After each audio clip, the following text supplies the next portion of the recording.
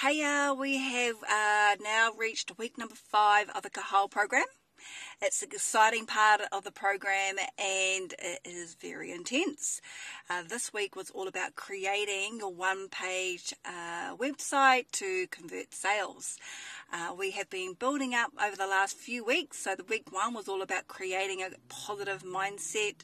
Week two was all about understanding the e commerce system and creating your customer avatar, your ideal customer. Week three was all about building your tribe, building your tribe of true fans, fans who just absolutely love what you do and what you offer. And last week was all about creating an offer stack. So putting together products and services that is giving so much value to your ideal customer that it makes it irresistible for your customer to um, turn turn down. So this week is pulling everything together and now um, creating a website that um, converts to sales. Now there's three main components to creating a, a website or your landing page or um, and the first component is uh, creating uh, quality photos of your products and services. So you because people are buying off a website, you know, they can't actually physically smell, touch, or feel. So you really want quality photos so they get a real sense of what they're purchasing.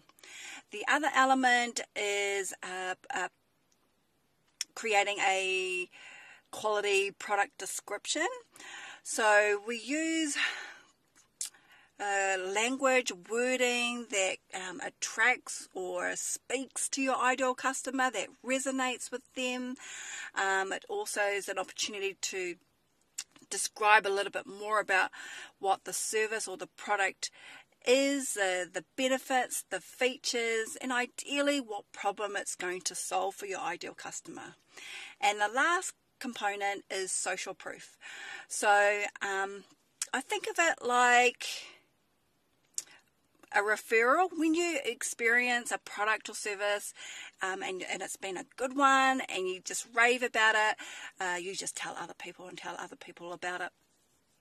Um, similar to that, so being um, providing a t- testimonial or using other uh, well known brands to endorse you. There's lots of ways, and these are ways to help um, influence customer be- behavior. Um, so these are the three main key elements uh, in building this, uh, building a website. So yeah, let's see how I go.